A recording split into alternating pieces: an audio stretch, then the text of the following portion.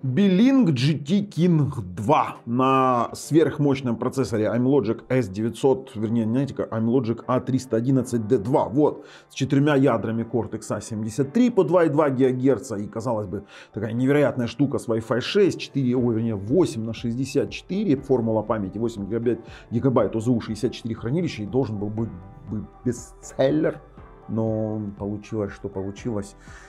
Как вы уже поняли, не совсем хорошо получилось. На канале Технозон поехали.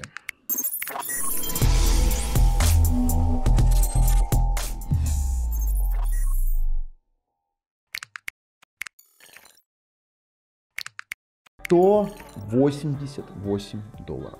Я его покупал за 188 долларов. Чтобы вы понимали, то, что они тут заявляются, у него огромное количество преимуществ. Это сумасшедший там LPDDR4X 8 гигабайт, 64 гигабайта хранилища, 8К, T2R Wi-Fi 6, э, Ethernet 1000 мегабит, Bluetooth 5 и все так прям красиво. И даже пульт они положили Bluetooth голосовой. Но вот в каждом из моментов они сделали факап. В любом. Вот давайте вот я сейчас, вот Леша, делай меня большим, и я буду объяснять. А, четырехъядерный процессор Cortex A73. Да, мощный, все хорошо. Где библиотеки под него нормальные? Библиотек нет. Это я вот сейчас вернусь к этому моменту библиотек. А, GPU, Mali G52, 4 ядра. Все хорошо. Во что играть? Во что играть на Android TV платформе на вот таком вот Mali G52 GPU на 4 ядра? Ладно, дальше. 8 гигабайт LPDDR4 4266 Mbps. Из-за 8 гигабайт им пришлось сделать 64-битную платформу, которая ни хрена нормально не работает. Вообще.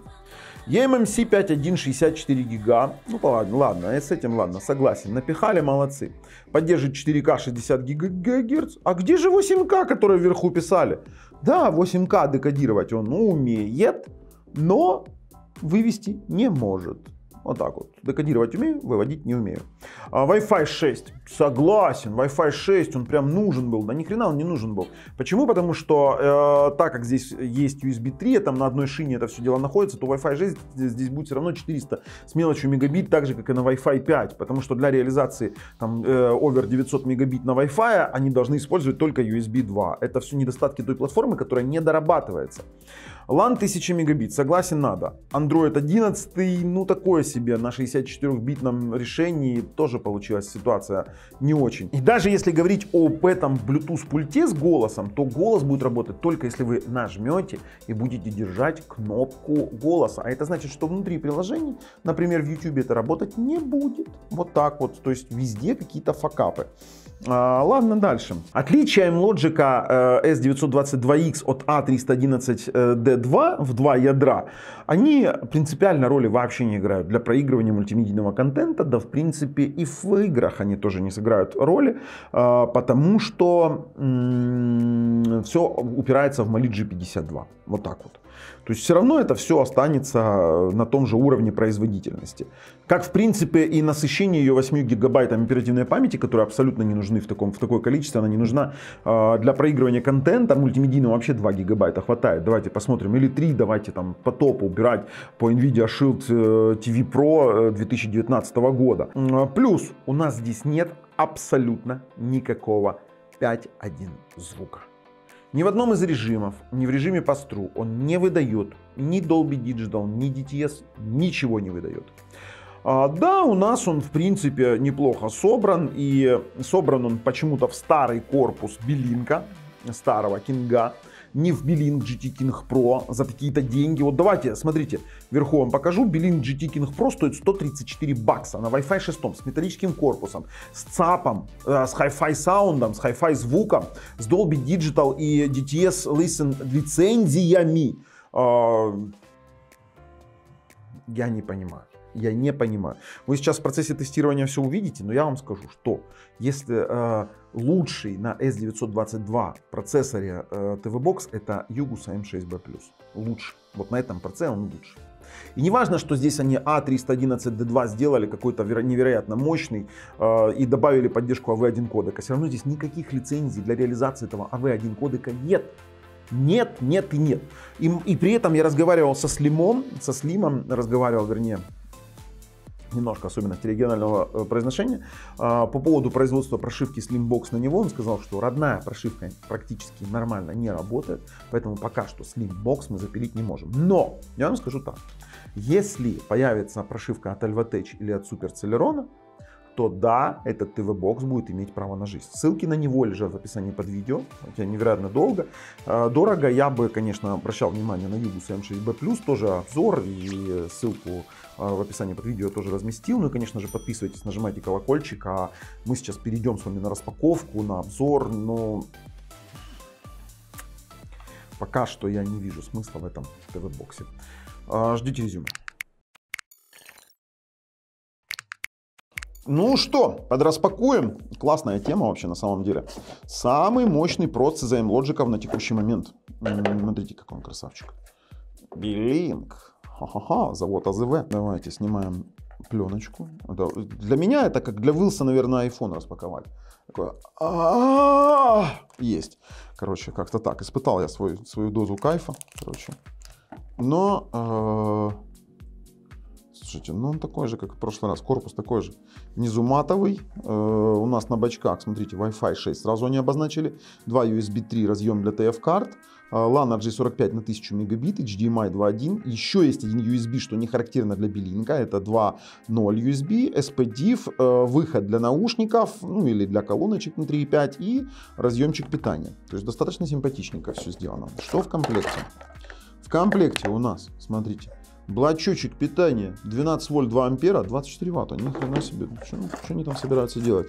И само собой, э, традиционно Белинк использует G10 пульты на донгле. Здесь донгл внутри с голосом. И это тоже не самое плохое решение. То есть э, вы, ну, вы сразу, у вас нет... А нет, он блютусный что ли? Да, он блютусный. Прикол.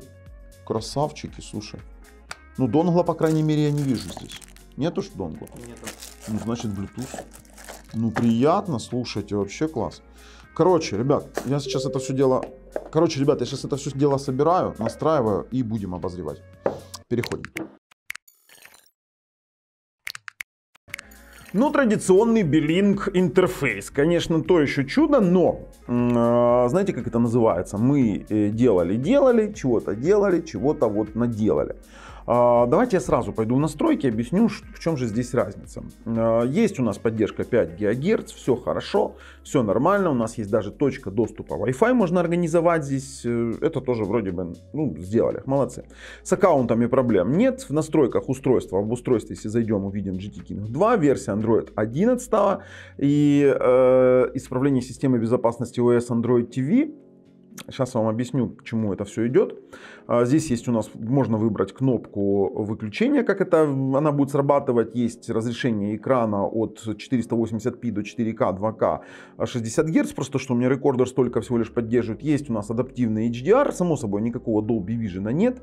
А, HDMI цик работает на включение-выключение, не более, не менее. Больше у нас там ничего не работает. А, звук через HDMI отдается. Можно выбрать, кстати, либо SPDIF, либо AUX, либо все включить одновременно. Э, и в расширенных настройках звука, видите, оно нет никогда не выбирать объемный звук. Объясню. Дело в том, что я уже один раз выбирал автоматические форматы э, устройства. То есть он, смотрите, опять оно сбрасывает эту настройку. То есть я как только выхожу, и ну, мы сейчас звук еще протестируем, конечно. То есть смотрим, оно опять выключено.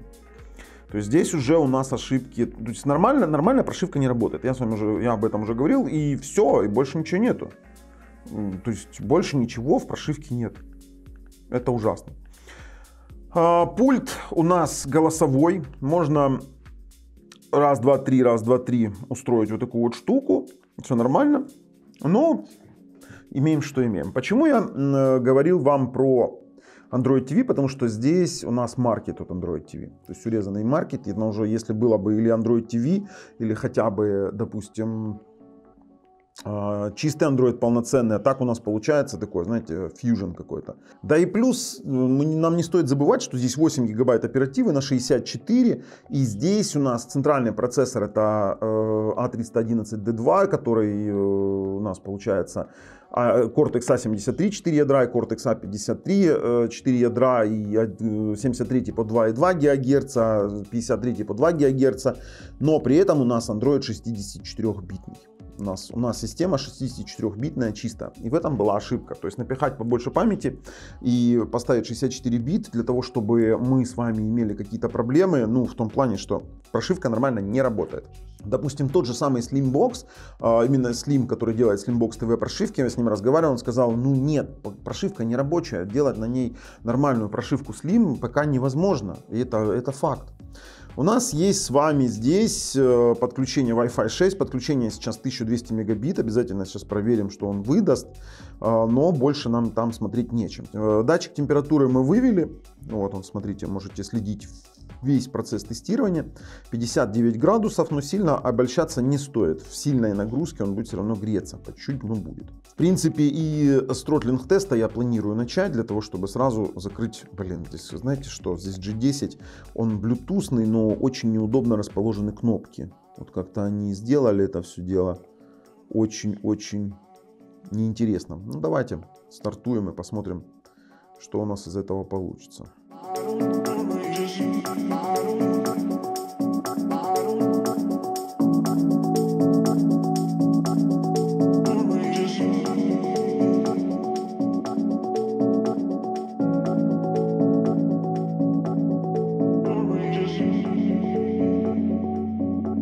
Ну что, друзья, Throttling тест нерадостный. Объясню почему. Это называется эффект усталость процессора. Грелся он, чтобы вы понимали, до 90 э, градусов. Не доработал. Первый раз я вижу, чтобы Beelink вот настолько не доработал. Хотя цифра в максимальная 160 GIPS, 160 024 GIPS говорит о том, что это невероятно мощный проц. А при этом даже минимальный порог тротлинга 126 739 это все равно выше, чем даже у простого S922, который не тротлит. Да, здесь есть момент того, что этой over мощности вы никогда не достигнете этих показателей GIPS а, при использовании его как ТВ-бокса. Это именно ТВ-бокс, его нельзя назвать мини-комп. А, и греться он у вас в, таки, в такой такой не будет штуки. Ну, давайте сейчас смотреть по, по нагреву. То есть мы сейчас имеем с вами 75 градусов после теста. Будем сразу продолжать тестировать. Ну, конечно же, speed-test не за горами. Будем э, проверять. Вообще в ТВ-боксе есть и шторка, и строка навигации. При этом, видите, есть вверху вот этот вот значок, который убирается только лишь в сторонних э, приложениях. Но имеется в виду, что если вы хотите смотреть YouTube без вот этой вот верхней штуки, то вам придется смотреть SmartTube Next, тогда верхней этой штуки не будет. Она появляется только вот ну, в простой работе и в YouTube ТВ почему-то. А, Wi-Fi неплох. Хотя для Wi-Fi 6 он мог бы быть и повыше. Ну, 390, давай, 400 перешагнет. Перешагнул. 400 в пике было, 406, 416, 420. Да, это очень неплохо сделано. Очень неплохо сделано, но температура, опять же, 78 градусов. Держится, честно говоря, это немножечко напрягает. И 440 на отдачу. Один из лучших показателей. Ну да, сделали. Ну да, молодцы. Для чего непонятно. Хорошо. Ладно, давайте 2.4 попробуем. Единственное, для чего я его на текущий момент вижу, это для эмуляторов. Эмуляторы э, старых консолей на нем будут работать просто прекрасно. Ну, я вам сразу скажу, что э, PlayStation 2 работать нормально не будет. Для PlayStation 2 нужен проц намного помощнее. Но, допустим, поиграть в Android TV игры какие-то или в консольные игры на старых эмуляторах, это вполне будет классно работать. Действительно будет классно. Мощи тут более чем достаточно. 2.4, э, ну, такое, плавающий. Видите, плавающий эффект, то есть оно плавает от 10 до 40 до 50, о, поднялось, 60, 70 мегабит, 74, 80, 84, нормально. 2.4 хорошо работает. 2.4, но я не понимаю этого ТВ-бокса, просто не понимаю. Может быть, кто-то из обзора вынесет для себя какую-то полезную на, составляющую его, но для меня это очень тяжело понять. 84 на 58. Это хорошие показатели. Пробуем LAN RJ45. Здесь 1000 мегабитный LAN. А, мы сейчас, э, уверен, получим ну, как минимум мегабит 700, это 100%. Смотрите, здесь вот есть шторочка, шторка непонятная, что означает вот этот вот процессор, изменить это все нельзя. А, передача, что такое передача? Вот объясните мне, что это такое? Передача SIS, UI, RSS, черт знает что. А, ну давайте стартуем. Это LAN RJ45 и мы получаем с вами, ну вот 800 900, это почти 900. Это максимально реализуемая скорость, то есть здесь гигабитный честный LAN. 890 на 899. Но температурка продолжает держаться. Это вот немножечко поднапрягает. Если говорить об оценке быстродействия данного TV-бокса, то в 3D Mark он набрал ну, действительно какие-то классные результаты. TV-бокс обычно столько не набирали, то есть Slingshot Extreme 1873, Slingshot 2593 и Storm Unlimited и Storm Extreme набирает максимальное количество баксов. Ой, баксов, боже, баллов. Ну, баксов он тоже набирает максимальное количество, поэтому особо здесь мы не будем с вами на этом деле заморачиваться. А вот э, Antutu показал достаточно нормальный результат для э, ТВ-боксов. Это 259 440 э, тысяч баллов. И и для ТВ-боксов это фактически максимальный результат, который я видел. Да, это действительно так, он, он быстр. Он быстр. Хорошо. Э, давайте дальше. Будем оценивать мультимедиа. Для этого мы подключим жесткий диск. Не жесткий диск, а SSD-шничек у нас есть такой. Подключили SSD. А, и здесь мы сейчас... Так, а SSD? А что SSD? Завелся? Не завелся? Завелся, нормально. Э, здесь мы с вами должны протестировать некоторые аспекты. В частности, высокобитрейтные э, фильмы, э, ну, у нас, мы их называем тестовые ролики э, с высоким битрейтом. Ну ладно, э, SSD показала, но мы запустим это все дело через коди, потому что мы там можем проверить и звук сразу в пробросе, и проигрывание, ну, коди как бы, знаете, универсальный. То есть, если мы будем сейчас подбирать э, плееры под каждый тестовый ролик, то мы можем зависнуть на этом деле. Для начала пробуем огромные, скажем так, высокобитрейтные э, фильмы. У нас есть тестовые. Ну да, с жесткого диска он это все дело заработал. Тут как бы вопросов нет. То есть он способен проигрывать с внешнего носителя очень тяжелые фильмы. То есть максимально тяжелые. Тут, тут ограничений нет. Те же самые тестовые ролики LG, они тоже спокойненько воспроизводятся. Тут как бы вопросов тоже не возникает. А вот что у нас со звуком? Давайте Dolby Digital Plus пробовать в режиме проброса. У нас сейчас. Так, Dolby Digital Plus в режиме проброса нас молчит. Молчит. Вот это та проблема, которую я показывал э, в меню. Мы сейчас поменяем еще с вами режим вывода звука. Да нет, вообще все молчит. И DTS, вот DTS ядро.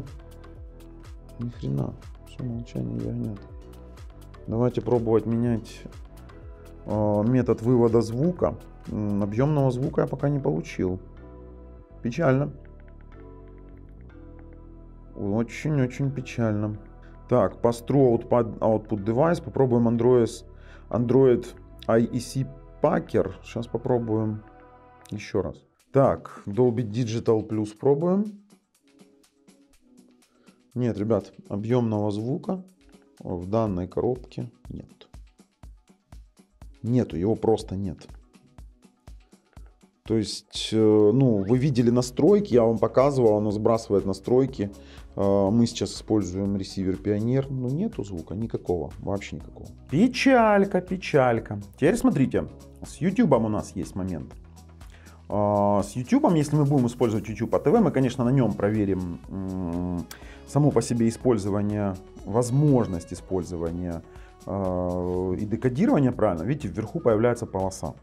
Эта полоса, конечно же, пропадает, если вы используете SmartTube Next, поэтому тут как бы вопросов я не вижу, проблем каких-то э, не вижу э, при использовании YouTube, ну как бы это все, это все решаемо. Так, по YouTube, ребят, пробуем YouTube 4К 60 FPS. Здесь начнем сначала с не HDR, VP9. Так, это 2К. Ну, YouTube воспроизводит. YouTube, YouTube воспроизводит без проблем. Переключаем на 4К. Сейчас перезапустим, посмотрим. Да, 4К, 60 FPS, тут как бы вопроса вообще нет. Ну, в принципе, на таком проце и не должно было быть вопросов. Давайте попробуем дикую реку. Она будет обязательно в AV1 в HDR. И здесь у нас пошли дропы. Знаете почему? Потому что AV1 в HDR это очень жестко. Для тестов. AV1 нужно тестировать на Японии 8К. Но все равно уже, уже мы имеем какой-то отрицательный момент. Япония 8К. Ай, блядь, знаете, что здесь? Еще один вопрос. Здесь для того, чтобы голос работал, нужно держать кнопку. Поэтому в YouTube с этим пультом это раз, два, три, четыре, пять. Ну, блин, ну такое себе. Удовольствие сомнительное. Мне не нравится такой подход. То есть в YouTube голос работать таким образом не будет. То есть это будет только при глобальном поиске в нормальной прошивке. Ну, имеем, что имеем. Давайте пробовать Японию 8К. Это нам позволит оценить э, 4К 60 FPS в AV1. Давай, запускайся. Да, здесь у нас тоже работает все без, э, скажем так, э, каких-то моментов. Без дропов, без визуальных тормозов. То есть, ну ладно, к YouTube у меня вопросов нет. Работает. Работает и слава богу. Хотя, с другой стороны, конечно. Красиво, да? Вообще красиво. Япония очень мне нравится. Пробуем IPTV 4К. Так, включаем 4К канал. Так, данный канал пока недоступен. Следующий.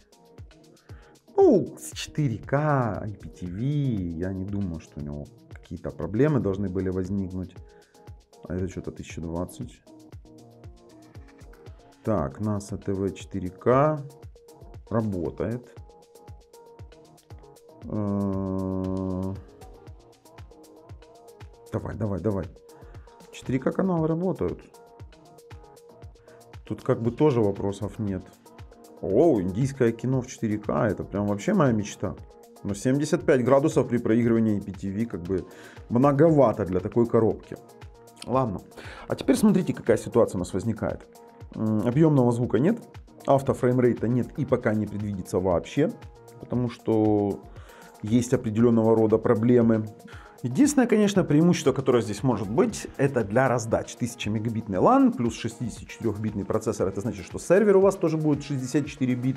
А, ну и, конечно, при использовании какого-нибудь плеера типа Коди на 64 бита тоже будет. Ничего так работает, нормально вытягивать. Так, пробуем м-м, большой фильм. Ну, пошло проигрывать. играет 77 градусов. Давайте попробуем перемотать. Нет, у него явное преимущество перед... Смотрите, как быстро перематывает. У него явное преимущество перед другими боксами в, про... в проигрывании раздач, но вручную придется переключать частоту экрана, э, потому что ну, чтобы не было у вас джодер эффекта, ну или если в принципе у вас есть на телевизоре уплавнялка, то это будет работать. Слушайте, нормально, нормально работает, э, даже с учетом температурки, ну короче все равно даже то, что оно сейчас нормально не работает, не, не ставит его выше других боксов. Я вам скажу честно, что тот же самый Югус M6B Plus покупать реально лучше и надежнее, чем вот это вот действие. Ну и в конце концов, единственное, на что можно рассчитывать на этом ТВ-бокс, я думаю, что это во что-то поиграть, возможно, брать такой ТВ-бокс, при его стоимости я бы уже рассматривал бы какой-нибудь Xbox э, э, X, блин, Series S или предыдущую модель, потому что это будет в любом случае лучше. Вот во что, ну давайте в Shadow Guns Legends. То есть покупать мега дорогой бокс какой-то кучей памяти э, для того, чтобы поиграть в Android TV игры сомнительно. Сомнительно, ну работает. Геймпад мы определила. Сейчас попробуем. Ну вот смотрите, Shadow Guns Legends. Он по умолчанию ставит 30 FPS. Давайте изменим на 60. И графику поставим, ну, все-таки, елки-палки, это э, A311D2 процессор. Какого черта оно таким вот образом, ну, вроде работает. Посмотрим, что сейчас получится. Просто он графику не определил, получается. Сейчас мы возьмем какое-нибудь задание. Ну, Вроде работает. Вроде работает, плавно работает. Сейчас посмотрим, что получится из этого. Так, надо спрятаться. Прячемся, прячемся, прячемся. И пошли стрелять. Да, поиграть можно, ладно, но опять же я говорю, что по стоимости взять какую-то консоль Xbox предыдущего поколения, ну, это будет намного лучше, чем вот этот вот весь выцеливать ужасно. Знаете почему? Потому что все-таки быстродействия ему не хватает для максимального качества. Ну, имеем, что имеем. У меня э, отрицательные вообще эмоции от этого бокса. Ой-ой-ой, меня еще прибило по голове.